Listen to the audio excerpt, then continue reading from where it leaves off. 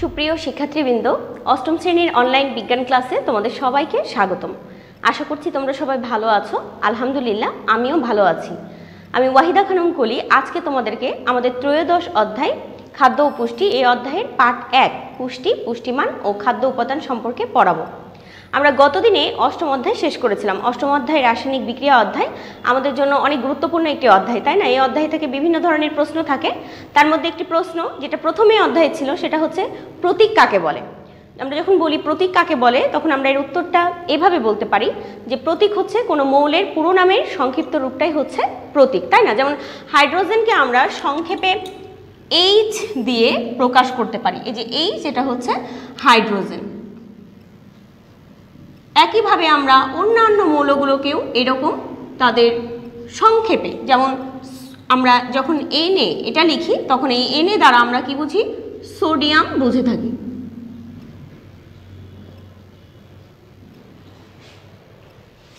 তো এরকম হচ্ছে মৌলের পুরো নামের সংক্ষিপ্ত রূপ এটা হচ্ছে প্রতীক। এখানে আরেকটা প্রশ্ন থাকে যে রাসায়নিক সমীকরণ বলতে তুমি কি বোঝো? আমরা জানি একটি রাসায়নিক বিক্রিয়ায় বিক্রিয়ক দ্রব্য এবং বিক্রিয়জাত দ্রব্য থাকে।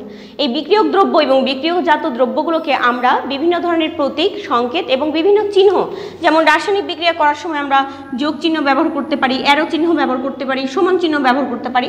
এরকম বিভিন্ন হচ্ছে প্রতীক, সংকেত এবং চিহ্ন দ্বারা মানে সংক্ষেপে যে আমরা প্রকাশ করি, এটাকে আমরা বলে থাকি রাসায়নিক সমীকরণ। এখানে বিভিন্ন ধরনের বিক্রিয়াও ছিল এই অধ্যায়ে। তাদের মধ্যে যদি আমরা জিজ্ঞাসা করি যে সংযোজন বিক্রিয়া বলতে কি বোঝো, তখন আমরা কি বলব? আসলে সংযোজন বিক্রিয়া বলা হয় যে যখন একাধিক পদার্থ বা মৌল সেটা হতে পারে বা যৌগ হতে পারে, তখন একাধিক পদার্থ একত্রিত হয়ে একটি সম্পূর্ণ ভিন্নধর্মী পদার্থ তৈরি করে, তখন আমরা সেটাকে কি বলে থাকি? তখন আমরা সেটাকে বলে থাকি সংযোজন বিক্রিয়া। তাই না? তো এরকম অনেক প্রশ্নই আমাদের অষ্টম অধ্যায়ে ছিল আর এক অষ্টম অধ্যায়ে ড্রাই সেলও ছিল, তোমাদের নিশ্চয়ই মনে আছে যে শুষ্ক কোষ। তো শুষ্ক কোষের মূল উপাদানগুলো আমি জানতে চাই, তাহলে তুমি কি বলবে? যে শুষ্ক কোষের মূল উপাদান মূলত তিনটি, তাই না? সেটা হচ্ছে অ্যামোনিয়াম ক্লোরাইড, কয়লার গুঁড়া এবং ম্যাঙ্গানিজ ডাইঅক্সাইড। এই তিনটে উপাদানের সমন্বয়ে শুষ্ক কোষের কায় বা লেই তৈরি করা হয়। তো যাই হোক, এই গেল আমাদের হচ্ছে অষ্টম অধ্যায়ের একটু আলোচনা, পূর্ব আলোচনা। আর আজকে আমরা আমাদের অধ্যায় শুরু করব আমাদের অধ্যায়ের খাদ্য ও পুষ্টি অধ্যায়। এই অধ্যায়ের প্রথম পাঠ, আমরা পুষ্টি, পুষ্টিমান ও খাদ্য উপাদান সম্পর্কে পড়ছি। তো দেখো, পুষ্টি হোক, পুষ্টিমান হোক বা খাদ্য উপাদান হোক, যাই হোক না কেন, তা কিন্তু কিসের সাথে সম্পর্কিত? এগুলো সবই হচ্ছে খাদ্যের সাথে সম্পর্কিত। তাই প্রথমেই যদি আমরা জানতে চাই যে খাদ্য কি, তাহলে তুমি কি বলবে? যে খাদ্য কি?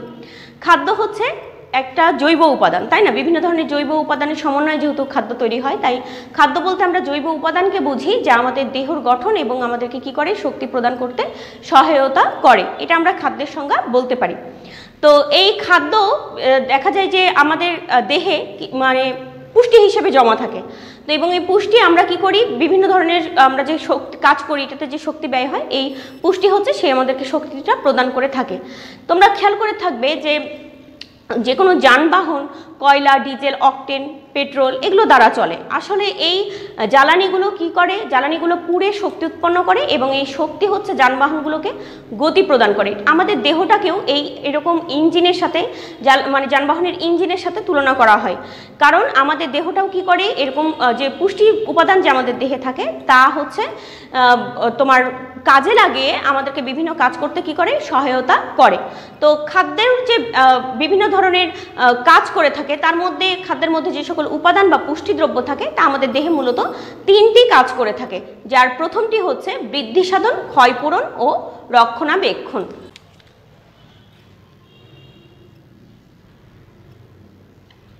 খাদ্যের তিনটি কাজ।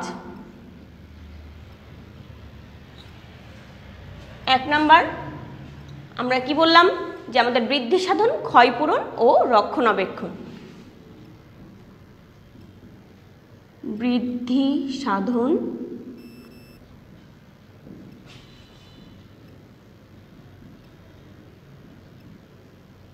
ক্ষয়পূরণ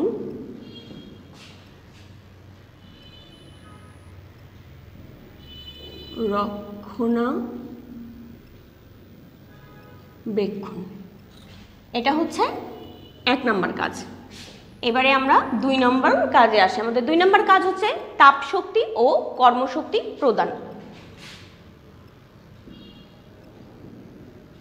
তাপ শক্তি ও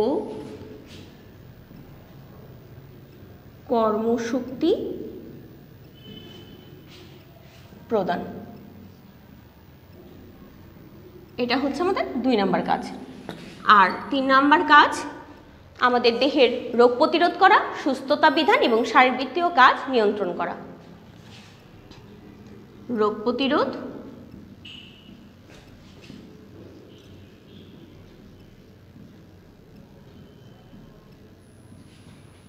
সুস্থতা বিধান।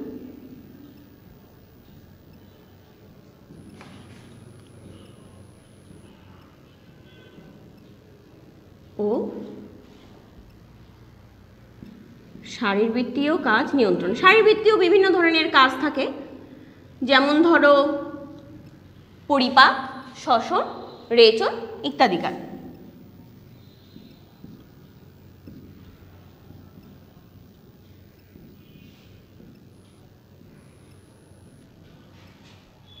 এই তিনটি কাজ মূলত করে থাকে। একটু খেয়াল করে দেখো, এই তিনটি কাজের মধ্যে আসলে সব কাজই হয়ে যায়। তো এই কাজগুলো প্রধানত আমাদের খাদ্য করে থাকে। তো আসলে আমরা যদি এখন পুষ্টি পড়তে চাই, যে খাদ্য তো জানলাম, বুঝলাম যে খাদ্য কি, খাদ্য কীভাবে কাজ করে, পুষ্টি কি? পুষ্টি আসলে একটি প্রক্রিয়া। আমাদের দেহ আমরা যখন খাদ্য গ্রহণ করি, তখন এই খাদ্য উপাদান পরিপাকের মাধ্যমে যে জটিল উপাদানগুলো ভেঙে সরল উপাদানে পরিণত হয়, এটা আমরা সবাই জানি, যে আমাদের কোষের শোষণ উপযোগী।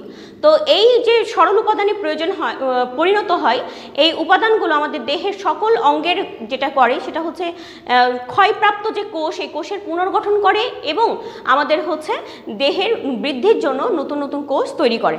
তো এই যে শোষণকৃত খাবার যে পুষ্টিটা এই পুষ্টি কিন্তু এই ধরনের কাজ এত ইম্পর্টেন্ট একটা রোল প্লে করে থাকে। তারপরে দেখো যে এছাড়াও আমাদের দেহের তাপ উৎপাদনে, তারপরে আমাদের রোগ প্রতিরোধে এবং দেখা যায় যে আমাদের দেহের জন্য হচ্ছে বিভিন্ন ধরনের জৈব রাসায়নিক ভাবে হলো এটা পুষ্টি যোগিয়ে থাকে। আমাদের দেহকে মোট কথা এটা সুস্থ রাখতে, সবল রাখতে এই পুষ্টি উপাদান কাজ করে রাখে। তো আমাদের দেহের সকল কাজই আসলে পুষ্টি প্রক্রিয়ার অন্তর্গত, এটা আমরা জানি। অর্থাৎ পুষ্টি উপাদান আমাদের হচ্ছে প্রতিদিনের খাবারের গুণসম্পন্ন সেসব উপাদান যা আমাদের কি করে? যা আমাদের দেহের শক্তি এবং যথাযথ বৃদ্ধি নিশ্চিত করে। এটা ছাড়াও আমাদের মেধা এবং বৃদ্ধি বাড়ায়। তারপরে আমাদের রোগ প্রতিরোধ করে, অসুখ বিসুখ হলে তাড়াতাড়ি সেটা থেকে সেরে উঠতে সহায়তা করে এবং হচ্ছে আমাদেরকে যেটা করে সেটা হলো কর্মক্ষম করে তোলে। তো পুষ্টির এতগুলো কাজ তোমরা শুনলে নিশ্চয়ই বুঝতে পারছ যে আসলে খাদ্য না খেলে পুষ্টি কিন্তু জমা থাকবে না। আর পুষ্টি যদি না থাকে, তাহলে কিন্তু আমরা সুস্থ থাকতে পারব না। এবারে আসো যে একটা খাবারকে আমরা কেন বলে থাকি, এটা শর্করা জাতীয় খাবার বা আমিষ জাতীয় খাবার, এরকম বিভিন্ন খাবারের নাম বলে থাকি আমরা, তাই না? যেমন আমাদের যে প্রধান খাদ্য, ভাত, এই ভাতকে আমরা বলি যেটা হলো শর্করা জাতীয় খাদ্য। আসলে দেখা যায় যে কোনো খাদ্যে মানে কি পরিমাণ এবং কত রকম উপাদান আছে, তার উপরই হচ্ছে ওই খাদ্যটার হচ্ছে পুষ্টিমান নির্ভর করে। তো আমরা যখন বলে থাকি যে ভাত বা চাল হচ্ছে শর্করা জাতীয় খাদ্য, এর কারণ হচ্ছে সিদ্ধ চালে দেখা যায় যে উনআশি ভাগই শ্বেতসার রয়েছে। কত পার্সেন্ট বললাম? উনআশি এই উনআশি পার্সেন্ট শ্বেতসার রয়েছে সিদ্ধ চালে। তো দেখো শ্বেতসারের পরিমাণ তাহলে অনেক বেশি। এছাড়া ছয় পার্সেন্ট হচ্ছে দেখা যায় স্নেহ জাতীয় পদার্থ আছে। এছাড়াও এখানে আমিষ, ভিটামিন, খনিজ লবণও সামান্য পরিমাণে থাকে। তো আমরা বলছি যে সিদ্ধ চালে ছয় ছয় পার্সেন্ট চর্বি থাকে বা স্নেহ জাতীয় খাদ্য থাকে। তারপরে হচ্ছে ভিটামিন থাকে, খনিজ লবণ থাকে, পানি থাকে, কিন্তু এগুলো সামান্য পরিমাণ থাকে। কিন্তু বেশিরভাগ কি থাকে? এই শ্বেতসার থাকে। উনআশি পার্সেন্টই থাকে হচ্ছে শ্বেতসার। তো এই কারণে যেহেতু বেশিরভাগ, বেশি পরিমাণেই শ্বেতসার উপস্থিত, তাই আমরা চালকে শর্করা জাতীয় খাবার এবং ভাতকে শর্করা জাতীয় খাবার বলে থাকি। তো এটার উপরে আসলে ডিপেন্ড করে, ঠিক আছে? যে উপাদানটা কয়টা এবং কি পরিমাণে আছে সেটার উপরে নির্ভর করে যে খাদ্যটার পুষ্টিমানটা কেমন হবে। এই গেল একটা টপিকস আর এরপরে আমরা যেটা বলব সেটা হচ্ছে যে কোনো খাদ্য উপাদান যখন আমরা দেখি যে খাদ্য উপাদান সম্পর্কে আমরা যখন জানি যে এই একটা খাদ্য উপাদান কি ধরনের, তখন আমাদেরকে তার প্রকৃতি সম্পর্কে জানতে হয়। খাদ্যের প্রকৃতি, যে প্রকৃতিটা কেমন? তো খাদ্যের প্রকৃতি অনুযায়ী খাদ্যকে দুইটা ক্যাটাগরি ভাগ ভাগ করা যায়। একটা হচ্ছে মিশ্র খাদ্য আর আর একটা হচ্ছে বিশুদ্ধ খাদ্য। তো প্রকৃতি অনুযায়ী খাদ্য ক মিশ্র খাদ্য আর খ হচ্ছে বিশুদ্ধ খাদ্য। তো আমরা মিশ্র খাদ্য কাকে বলে? বিশুদ্ধ খাদ্য কাকে বলে? একটু দেখে নিই।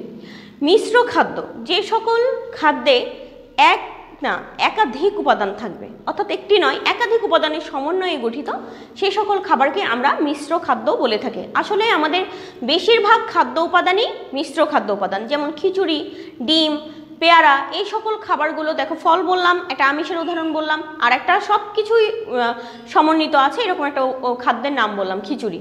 তো এই সকল এই উপাদানগুলোতে, প্রত্যেকটা খাদ্য উপাদানগুলোতে, যেমন ডিমে হোক, পেয়ারাতে হোক, খিচুড়িতে হোক, একাধিক খাদ্য উপাদান উপস্থিত থাকে, এই জন্য এগুলোকে আমরা মিশ্র খাদ্য উপাদান বলি।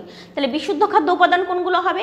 যে সকল খাদ্য উপাদান একটি মাত্র উপাদানের সমন্বয়ে গঠিত, তাদেরকে আমরা বিশুদ্ধ খাদ্য বলে থাকি।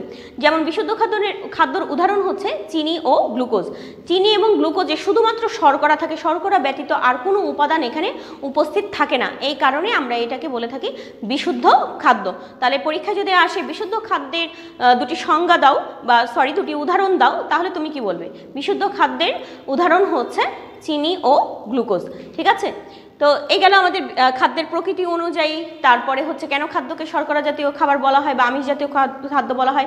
এখানে, দেখো যেহেতু এখানে পরীক্ষায় এরকম একটা প্রশ্ন আসে যে, মাংসকে কেন আমরা আমিষ জাতীয় খাবার বলি? তো তখনও নিশ্চয়ই এটার উত্তর এখন তোমরা দিতে পারবে। এখন আমরা দেখব যে উপাদান অনুযায়ী খাদ্যকে কয় ভাগে ভাগ করা হয়েছে এবং কি কি? একটা উপাদান অনুযায়ী খাদ্যকে তিন ভাগে ভাগ করা হয়েছে। শর্করা জাতীয় খাদ্য স্নেহ জাতীয় খাদ্য এবং আমিষ জাতীয় খাদ্য। এটা উপাদান অনুযায়ী ভাগ করা হয়। এই তিনটা মূল খাদ্য উপাদান, এছাড়াও সহায়ক উপাদান আছে। মোট ছয়টি খাদ্যের উপাদান আমরা পড়ি, তাই না? তো সহায়ক খাদ্য উপাদান হচ্ছে ভিটামিন, খনিজ লবণ এবং পানি। তো এই যে ছয়টা উপাদান, যেটা তিনটা গুরুত্বপূর্ণ উপাদান এবং তিনটা সহায়ক উপাদান, প্রত্যেকটাই কিন্তু আমাদের দেহে গুরুত্বপূর্ণ কাজ করে থাকে। অর্থাৎ একটি খাদ্য উপাদানের অভাব হলে আমরা কিন্তু বিভিন্ন ধরনের রোগে আক্রান্ত হতে পারি, যা এই অধ্যায়ের পরবর্তী পাঠগুলোতে তোমরা জানতে পারবে। তো প্রথম খাদ্য উপাদান হচ্ছে শর্করা জাতীয় খাদ্য উপাদান। শর্করা জাতীয় খাদ্য উপাদানকে শক্তি উৎপাদনকারী খাদ্য উপাদান বলে, কারণ এটা আমাদের দেহে খুব দ্রুত কী করে? শক্তি উৎপন্ন করে। এরপরে আছে হচ্ছে আমিষ জাতীয় খাদ্য উপাদান। আমিষ জাতীয় খাদ্য উপাদান, আমরা জানি আমিষের উদাহরণ মাছ, মাংস, দুধ, ডিম ইত্যাদি। তো এই আমিষ জাতীয় খাদ্য উপাদান কি করে? আমিষ জাতীয় খাদ্য উপাদান আমাদের দেহ গঠন, ক্ষয়পূরণ এবং আমাদের রক্ষণাবেক্ষণ করে থাকে বা বৃদ্ধি সাধন করে থাকে। তো এই কাজগুলো আমিষ করে। এরপরে আছে স্নেহ।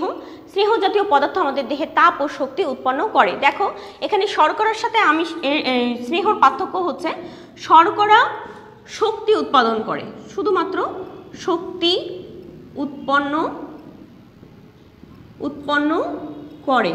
আর স্নেহ স্নেহ কি করে? তাপ ও শক্তি উৎপন্ন করে। তার মানে এখানে তাপও উৎপন্ন হয় এবং সেই সাথে শক্তিও উৎপন্ন হয়। এরপরে আমরা হচ্ছে ভিটামিনে যাই, সহায়ক উপাদান হিসেবে। যে ভিটামিনও তো তোমরা জানো যে আমাদের দেহে অনেক গুরুত্বপূর্ণ কাজ করে থাকে ভিটামিন আমাদের ভিটামিন বিভিন্ন ধরনের খাদ্য উপাদান গ্রহণ করা উচিত, যার মধ্যে আমরা ওই খাবারগুলো খেয়ে ভিটামিন নিশ্চিত করতে পারি। তো ভিটামিন কি কাজ করে? ভিটামিন রোগ প্রতিরোধ করে।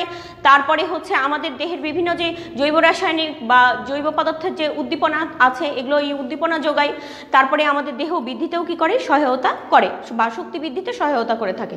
খনিজ লবণ, এগুলো বিভিন্ন জৈবিক বিক্রিয়ায় কি করে অংশগ্রহণ করে থাকে? খনিজ লবণ আমাদের বিভিন্ন সবজি, ফল এগুলো থেকে আমরা পেয়ে থাকি। এছাড়া যে আমরা খাবার লবণ খাই, আমাদের তরকারিতে এখান থেকেও আমরা খনিজ লবণের চাহিদা পূরণ করতে পারি। এছাড়া আছে পানি। পানি তো জানোই, আমাদের দেহের পানি হচ্ছে পানির সমতা রক্ষা করে, তাপের সমতা রক্ষা করে, বিভিন্ন ধরনের অঙ্গাণুকে ধারণ করে এবং হচ্ছে আমাদের দেহটাকে সতেজ এবং সজীব রাখে। পানির ভূমিকা অনস্বীকার্য, কারণ পানি ছাড়া অন্যান্য যে জৈবিক প্রক্রিয়া আছে, এগুলো কিন্তু কোনোটাই সম্পূর্ণ হয় না। তো এই ছিল আমাদের পাঠ। আজকের আমাদের পাঠের বিষয় ছিল খাদ্য, খাদ্যের কাজ, পুষ্টি কি, পুষ্টি কীভাবে আমাদের দেহে কাজ করে থাকে। তারপরে হচ্ছে মিশ্র খাদ্য কি, বিশুদ্ধ খাদ্য কি, এবং সেই সাথে খাদ্যের বিভিন্ন ধরনের উপাদান সম্পর্কেও আমরা জানলাম। আজকের ক্লাস সম্পর্কে কোনো সমস্যা যদি থাকে, তাহলে তোমরা এটা লাইভ ক্লাসে আমার কাছ থেকে শুনে উত্তর জেনে নিবে যে আসলে তুমি কি জানতে চাচ্ছ। আজকের হোমওয়ার্ক দিই তোমাদেরকে, তোমাদের আজকের হোমওয়ার্ক বিভিন্ন ধরনের খাদ্য উপাদানের নাম ও কাজ লেখো। যতগুলো খাদ্য উপাদান আছে, সবগুলোর নাম লিখতে হবে এবং কাজ লিখতে হবে।